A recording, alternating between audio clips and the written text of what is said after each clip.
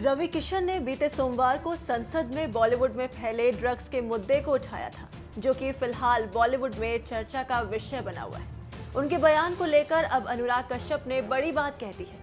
Film Mukkabaaz के दौरान का किस्सा सुनाते हुए अनुराग कहते हैं कि रवि किशन ने मेरी फ़िल्म मुक्काबाज में काम किया था। रवि किशन अपने दिन की शुरुआत जय शिव शंकर, जय बम भोले, जय शिव शंभु से करते हैं। वो खुद वीट लेते थे और ये बात सब जानते हैं। ऐसा कोई भी शख्स नहीं है जिसे ये पता नहीं कि रवि किशन स्मोक नहीं करते। उन्होंने भले ही अब छोड़ दिया हो क्योंकि वो नेता बन गए हैं। शायद अब वो ये सब ना करते हों।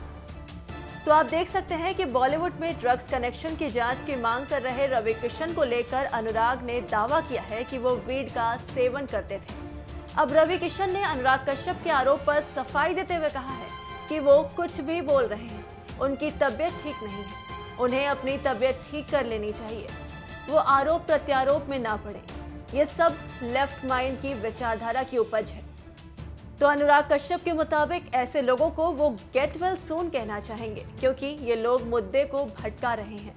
जिन लोगों का ये प्रतिनिधित्व कर रहे हैं, दरअसल वो इंडस्ट्री को खोखला करने वाले लोग हैं। इन्हें उनका साथ न देते हुए देश को साफ़ सुथरे मुल्क की तरफ़ ले जाना चाहिए। तो आप देख सकते हैं कि रवि किशन द्वारा संसद में उठाए गए ड्रग्स के मुद्दे ने किस कदर तूल पकड़ा हुआ है। पहले जया बच्चन ने बॉलीवुड का बखान करते हुए अपनी थाली वाले बयान से उन पर कटाक्ष किया था और उसके बाद शुरू हुआ आरोप प्रत्यारोप का ये दौर।